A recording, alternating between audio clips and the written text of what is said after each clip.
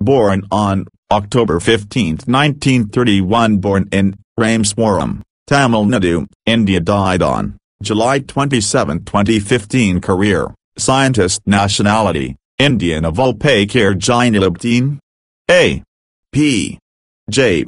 Abdul Kalam was a scientist and engineer, who served as the President of India from 2002 to 2007. Already a highly accomplished and much respected individual when elected to be the president, Kalam had spent four decades as a scientist and science administrator at several prestigious organizations like the Defense Research and Development Organization, DRDO, and Indian Space Research Organization, ISRO. Born into a family of humble means in Tamil Nadu, Kalam went on to study aerospace engineering in Madras Institute of Technology. His initial dream was to become a fighter pilot but he failed to qualify for the Indian Air Force. He then started working at the Defense Research and Development Organization, DRDO, as a scientist and was later transferred to the Indian Space Research Organization, ISRO.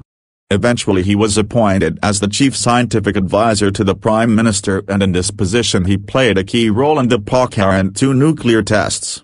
He became the President of India in 2002 and was known as the People's President.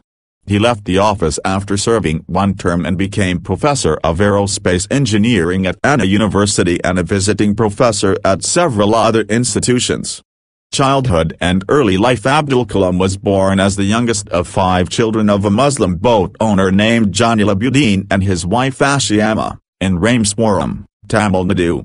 His ancestors had once been wealthy traders though his family lost much of its fortunes by the early 20th century.